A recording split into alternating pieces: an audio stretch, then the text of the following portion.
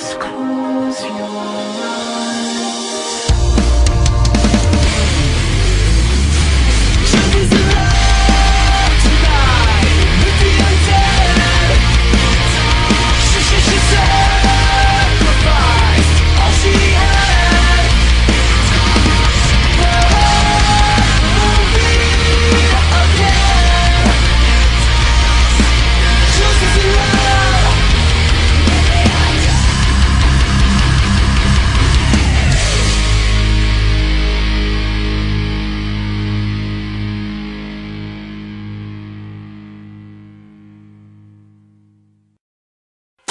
calls tonight to let go.